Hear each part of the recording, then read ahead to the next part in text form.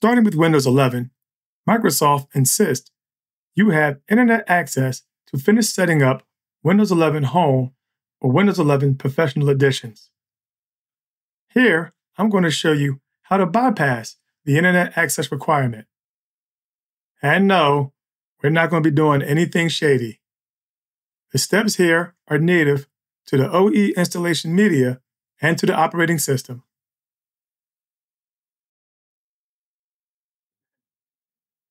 Set up Windows as you normally would.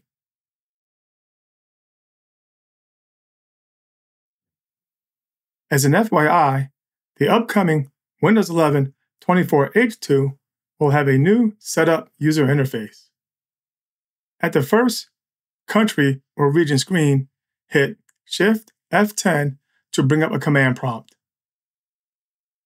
Click inside the command prompt and type OOBE backslash bypass nro.cmd. The computer will immediately reboot and again prompt the user to complete the setup process.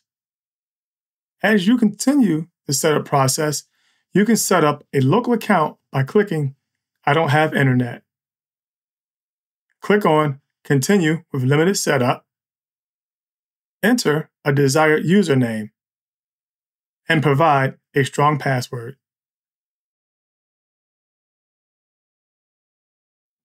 Answer your three security questions.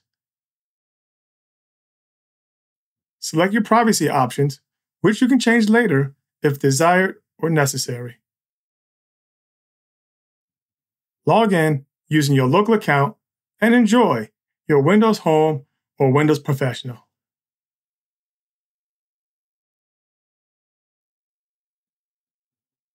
If you do not already have installation media, you can go to either the Microsoft Windows 11 download website, your Microsoft Visual Studio subscriptions website, or the Microsoft Windows Insider Program website. Media from the Microsoft Evaluation Center or your volume license typically have Windows 11 Enterprise or Education editions which do not require internet access. If you need to create a bootable USB drive, see my video here.